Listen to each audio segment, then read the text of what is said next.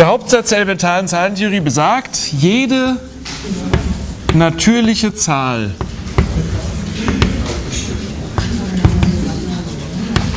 n größer gleich 2 besitzt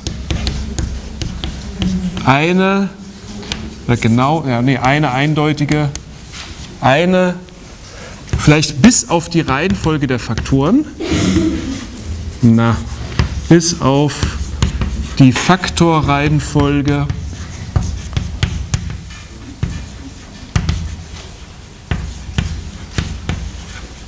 eindeutige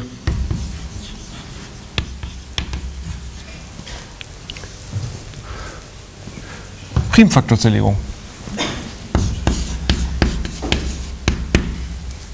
Gibt nur eine, Highlander.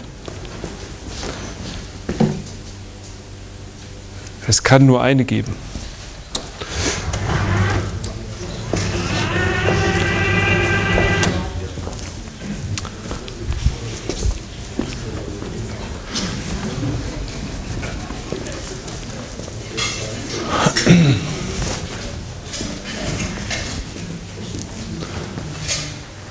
So, und jetzt beweisen wir das. Jetzt lehnen Sie sich zurück. Es folgt jetzt eine halbe Stunde Megabeweis. Versuchen Sie mal Schritt für Schritt mit nachzuvollziehen. Ich werde mich orientieren am Buch von Gorski und Müller-Philipp. Es steht alles da drin auch. Können Sie nachlesen später nochmal. Ne? Vielleicht möchte ich Sie auch gleich beruhigen. Ich werde Sie diesen Beweis komplett niemals in der Klausur abfragen. Komplett. Komplett, genau. Vielleicht so einen kleinen Teilbeweis, ja, das kann ich mir schon gut vorstellen.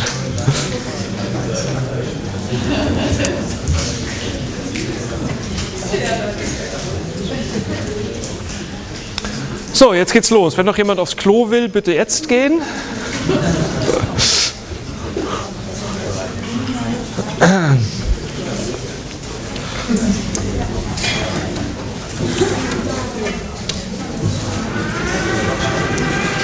Okay, wir beginnen aber mal, wir brauchen erst noch eine andere Kleinigkeit. Bevor wir mit dem Beweis dieses Satzes beginnen können, brauchen wir erst noch mal ähm, eine andere Kleinigkeit, nämlich den Satz vom kleinsten Teiler. Klingt irgendwie goldig, gell? Satz vom kleinsten Teiler. Der Satz vom kleinsten Teiler.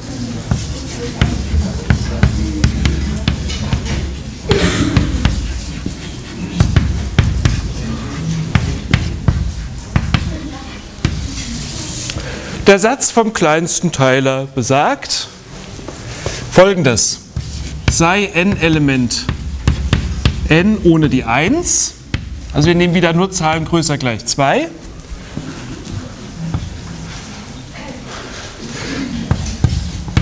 der kleinste Teiler d von n ist eine Primzahl. Ähm, d größer 1 von n ist eine Primzahl. Natürlich ist äh, der, kleinste, der insgesamt kleinste Teiler immer die 1. Wenn man von der Teilermenge ausgeht. Ja?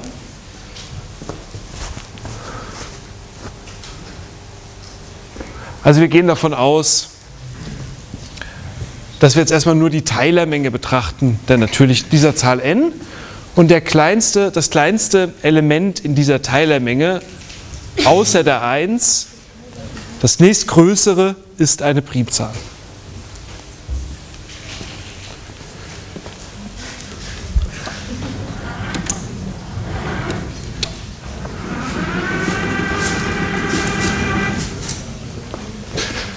Vielleicht sollten wir hinschreiben, um es deutlich zu machen, d aus den natürlichen Zahlen mit d größer 1. Jetzt müssen Sie wieder Ihren äh, Tippex-Roller rausholen oder sowas, ja? Ich verrate Ihnen was, Sie brauchen das überhaupt nicht mitschreiben. Das steht in Ihrem Buch. So oder so ähnlich. Ja? Konzentrieren Sie sich lieber. So. Okay, betrachten wir mal, also Beweis, ja, betrachten wir mal die Teilermenge von n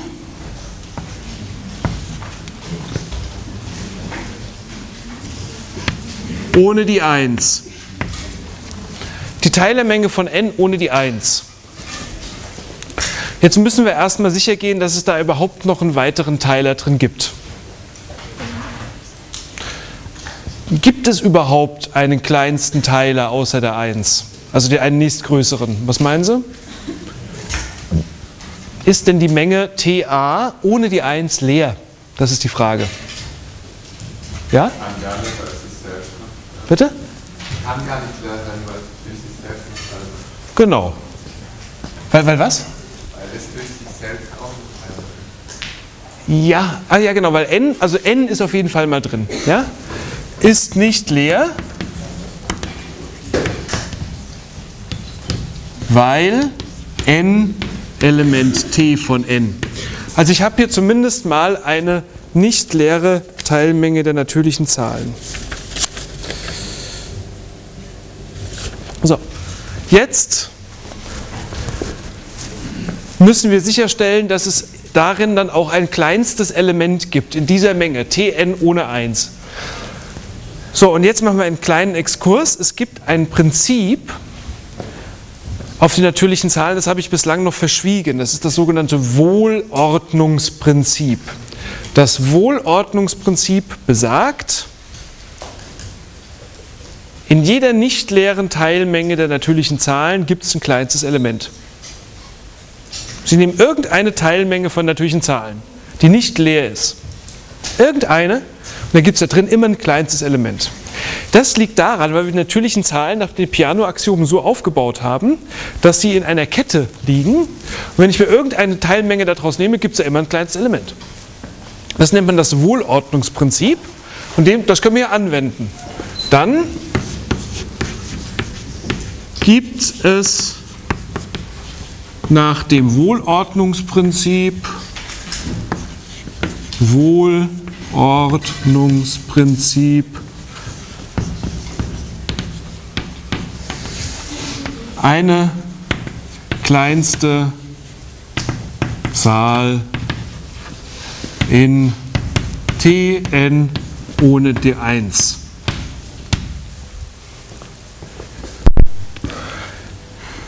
Diese sei D. Die nennen wir jetzt mal D.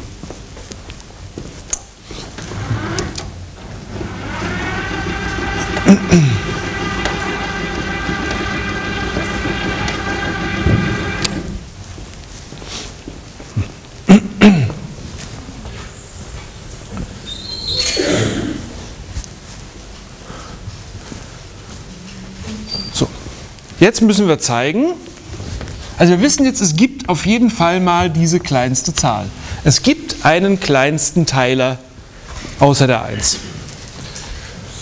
Und jetzt müssen wir zeigen, d ist Element der Primzahlen. Diese kleinste Zahl, die in dieser Menge drin steckt, ist eine Primzahl.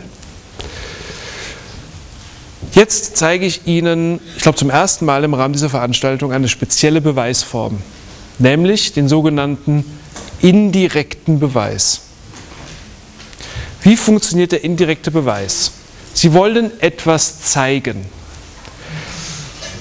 Dann gehen Sie mal vom Gegenteil aus. Sie nehmen mal an, das, was Sie zeigen wollen, gilt nicht. Und dann arbeiten Sie und stellen irgendwann fest, da stimmt was nicht. Sie führen das zu einem Widerspruch.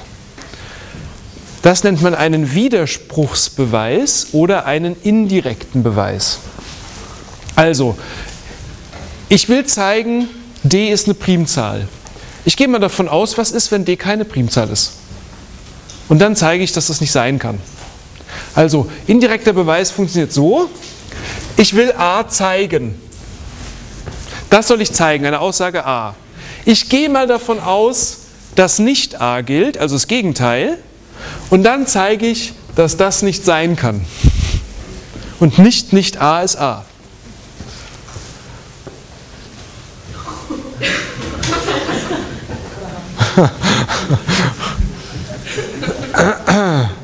Guten Morgen.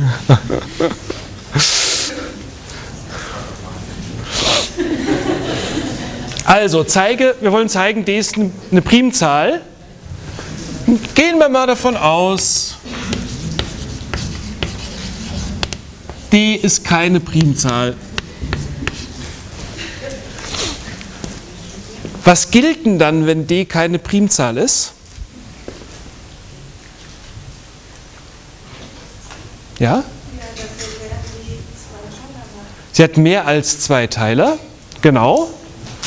Also nicht nur 1 und D, sondern auch zum Beispiel zwei weitere mindestens, ne? A und B. Also zwei könnte es sein. Auf jeden Fall mal zwei weitere, A und B. Es hat mindestens mal einen weiteren Teiler und der braucht einen Komplementärteiler. Ja? ja das heißt, D hat noch einen kleineren Teiler. Wir haben aber schon angenommen, dass D der kleinste Teiler ist.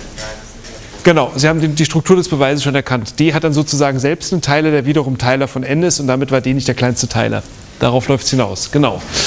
Also wenn D keine Primzahl ist, dann heißt das, dann existieren A und B Element der natürlichen Zahlen ohne 1 und D mit A mal B gleich D.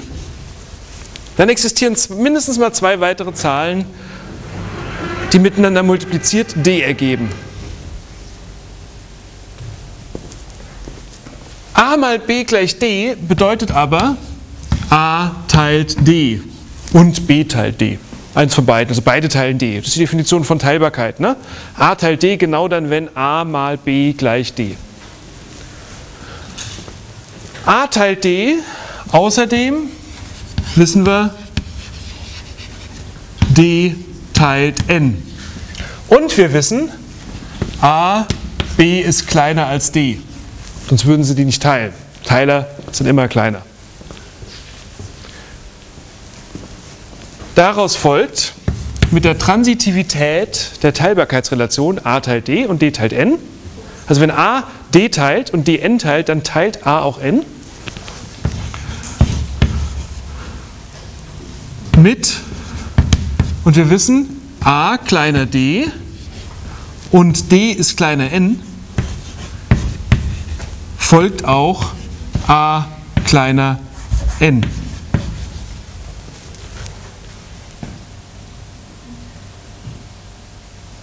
Schauen wir hier mal außerdem hin.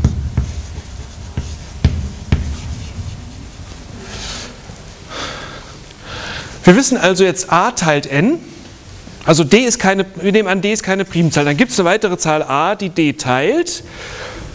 Damit teilt a auch n.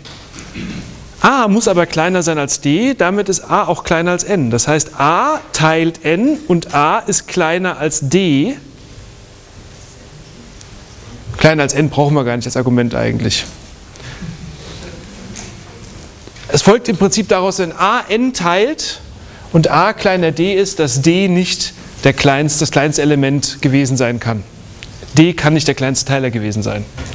Wenn d keine Primzahl ist, dann gibt es noch einen weiteren kleinen Teiler, einen kleineren Teiler.